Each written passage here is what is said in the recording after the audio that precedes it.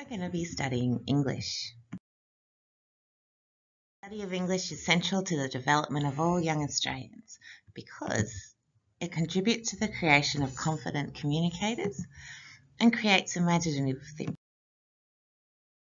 Through the study of English, you will be an informed citizen, able to analyse, understand, communicate and interact with others and with the world around you.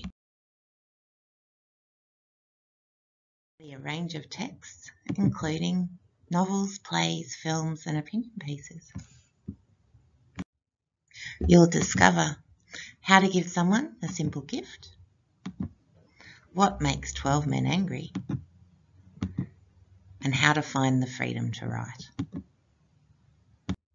But there's more. As well as mainstream English, you can choose to take our creative writing elective at Year 9 or 10. This unit will explore a range of creative writing skills and will culminate in your writing being published in a short story anthology. The following clip demonstrates the end product where your writing will be published if you select this elective next year.